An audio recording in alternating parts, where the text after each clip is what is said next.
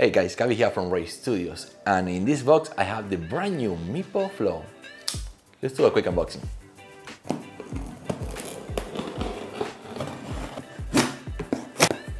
Looks like we have a box inside a box.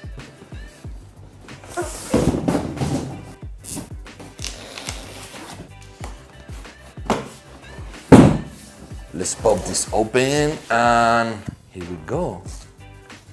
The Meepo Flow. Okay, let's take this out of the box. It comes very nicely packed. Ooh, we have 105 millimeter wheels. This is a nice PU wheels. So they're like the mud wheels, but from Meepo. Okay, we take a look at this a little bit later. Let's see what else is on the box. So we got a few spare screws. Okay, we got the classic Meepo remote with a little LCD screen and a couple of buttons. Pinwheel here, pretty good. Manual. We have a three-way Allen key.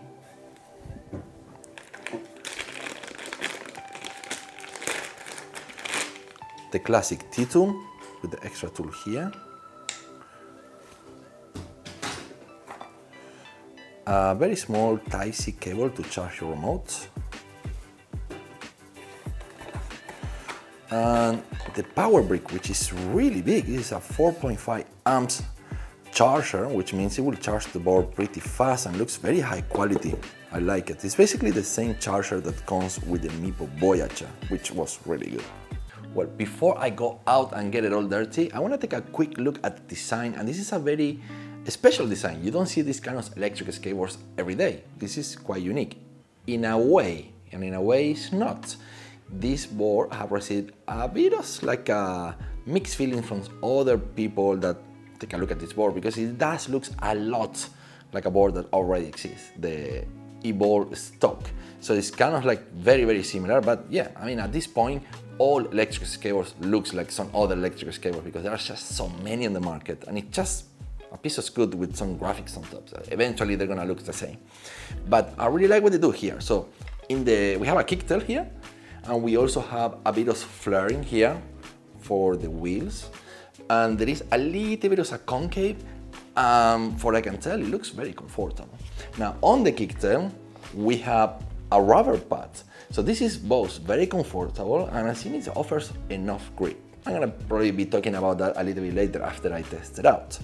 Now here, what we have is invisible uh, grip tape. So it's a transparent sheet of grip tape that it reveals the actual natural good of the deck. And I gotta say, that looks very nice. We do have a lot of screw saws, and then we have these white lines, black line with the logo small. Meepo have finally learned the lesson. Put the logo small, it looks nicer, more premium. Now when we turn this board around, we can see the huge battery. I mean, look at this massive battery in here.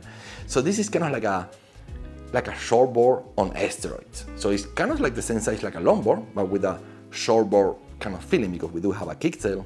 Um, but as a matter of fact, this is the first kind of longboard, shortboard I ever seen with double kingpin track. So it's basically like a shortboard, longboard, and AT board all in one. So we have huge double kingpin tracks.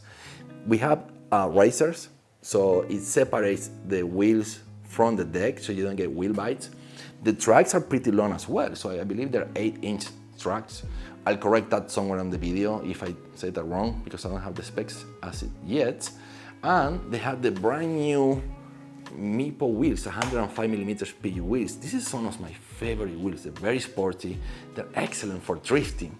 Now in the back, we have a couple of new things here. So here is the ESC, here's the power button, the charger here on the side. Relatively easy to open and to close as well, so well done. This is the little details that you don't usually see. Um, but what I say is new it's like the cable management is really nice. I love what they did here. So there is like a cover, hold the cables in place and you barely see the cables. Now, double kingpin trucks yet again, but now here we also have a very nice uh, motor guard, made of that looks really nice. Now we also have metal um, motor covers here on the side also to protect the belts. And it's all black, so it's just a very simple design. Probably they didn't do much on the back here with the paint, just because the battery is taking pretty much the whole board here on the back. It's a huge battery with a big ESC. Um, I really like it. Okay, now it's time for me to go out and have some fun with this puppy. All right, let's go.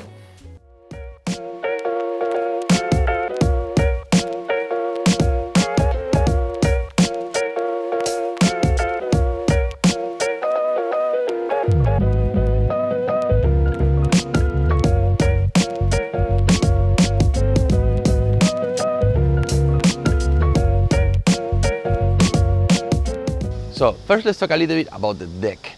And this deck feels pretty good except for one reason. I feel like it's a little bit short, even so it's bigger than a shortboard. So I don't know, that's maybe because the tracks are very close to the nose. So uh, you can see how the, the, the wheels are almost out of the deck. And I have here the Tynee Mini 3 Pro for reference. So you get an idea of how big it is. You can see it's, a it's slightly bigger than a shortboard. So even though this looks like a shortboard, it's actually closer to a longboard. So it's 35 inches, 10 inches wide. So I believe that's 90 centimeters by 24 centimeters. Uh, the deck is made of maple and bamboo. There is absolutely no flex whatsoever. And there is a little bit of a concave that keeps my feet really nicely in place. The kicktail, even though it's quite big, um, it's just barely usable. I mean, you can change direction, tic-tac-toe, but it's such a heavy board that it's not easy to do that like you would with a regular shortboard. Uh, but still, it's nice to have it there, keep my feet in place. One thing that I really like is that foam grip tape. Um, it's extremely comfortable. So basically while you're riding, your feet will never get tired because of this um, grip tape here they have with this foam. The, the other grip tape, the transparent grip tape, is also actually pretty good. It's very grippy. So yeah, they did a very good job with all the different parts. Um, I guess I would like to have a little bit more of some kind of like concave going up so I know where my feet should end because I sometimes find myself putting my feet right at the very edge of the nose. So if I go a little bit forward, I will probably fall down. But yeah, other than that, I like this deck.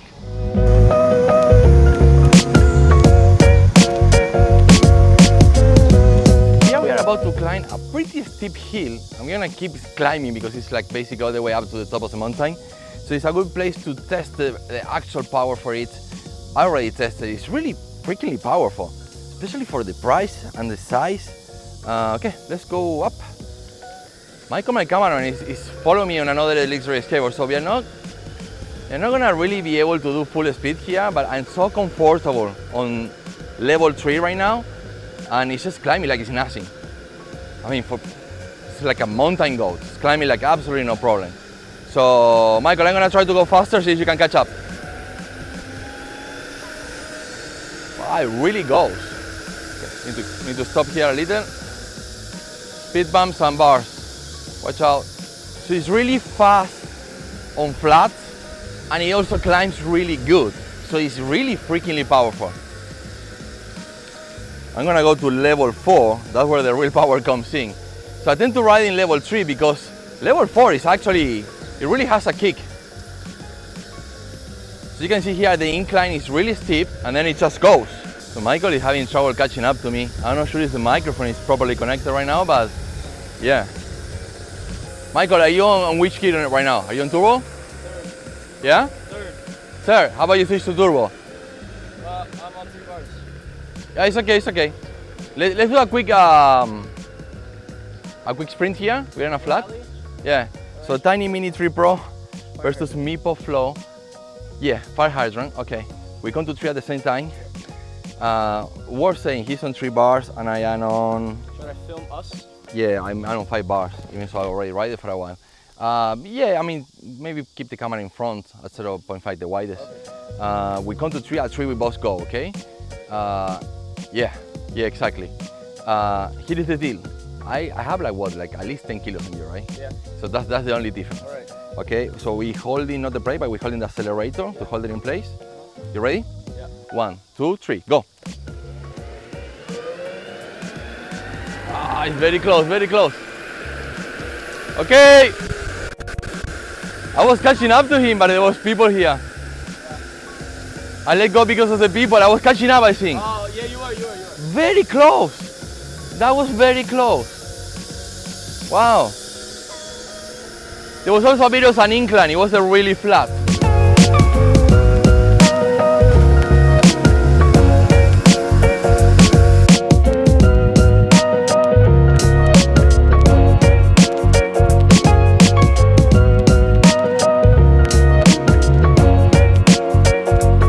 So we got a couple of 2500 watt power motors and they really deliver in combination with the Hobbywing ESC. Yes, Hobbywing ESC. What the So we have the Hobbywing 1928. This is a new for Meepo. I think they've been using Link E ESC for like so many years. So they're jumping to Hobbywing. Okay, it's probably something new, but to be honest, they did a really good job. The Hobbywing is supposed to clock somewhere under 50 amps. I believe it's like 30 amps. It feels like more, like it feels really powerful. So when it comes to power, there is zero concern with this board. It really delivers. Okay, let's go out there and test the tracks.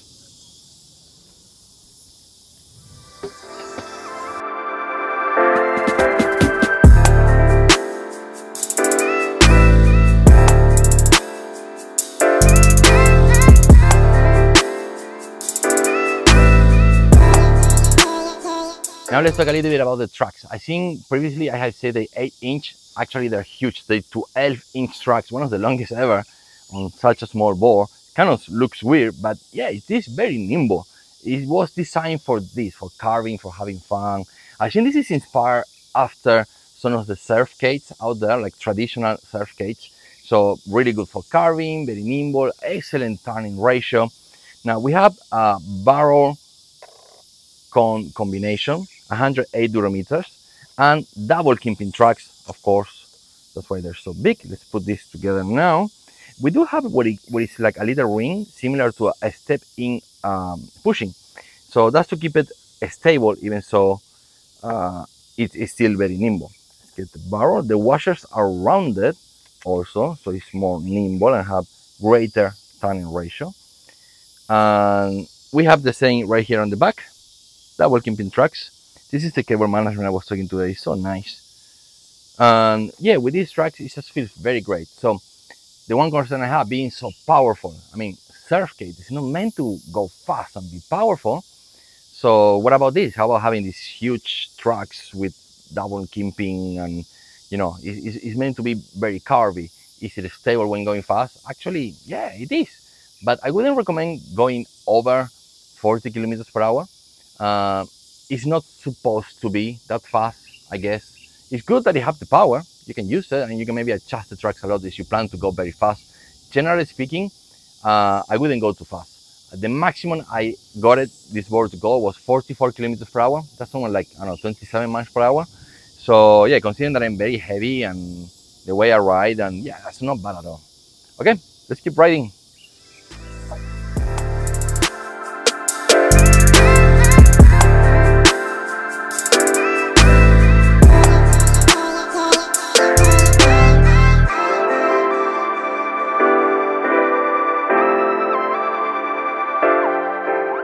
Max payload on this board is 150 kilograms, which is slightly better than most other boards, especially at this price point.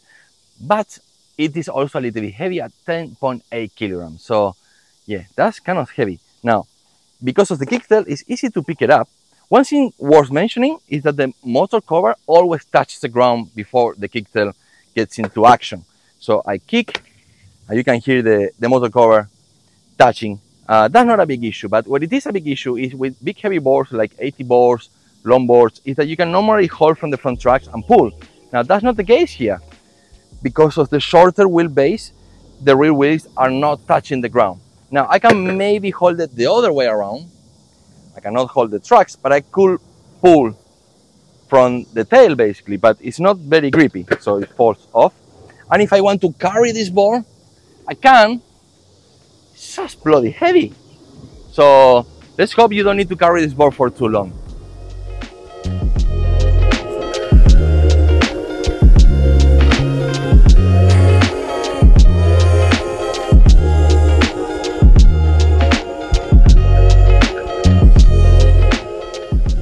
The battery in this board, 360 watt hour, is pretty big, especially considering the price. So it's kind of like more on the premium side than on the budget side. It's kind of like on between, but it's closer to premium. So it's kind of like a baby Voyager on a cooler deck. That's what this board is all about. Now, before I sign off and talk about the overall riding experience and my conclusions, I want to quickly talk about this, the remote. So this is like the classic Hobbywing remote. We have seen this for a very long time uh, and it works. It's just comfortable on the hand. We have a wheel, we have a power button, a gear level here, and we can set it to reverse. We have a LCD screen with a lot of valuable information. Now, me being left-handed, I'll never get to see that LCD screen while riding, but yeah, I can still get like the trip distance, the odometer. Um, yeah, it's, it's pretty good. You got the battery information and the remote battery as well. By the way, we've been riding for quite a while and it's still on five bars. It's quite insane how good the battery is on this. So apparently the, the this Hobbywing ESC is very efficient uh, paired with these motors. It's doing really good. We went back to the office, that's because the camera completely overheat. It was like 100 degrees Fahrenheit out there. And what's cool about this board is that the board didn't overheat. So the ESC is solid. The Hobbywing, one of the best out there.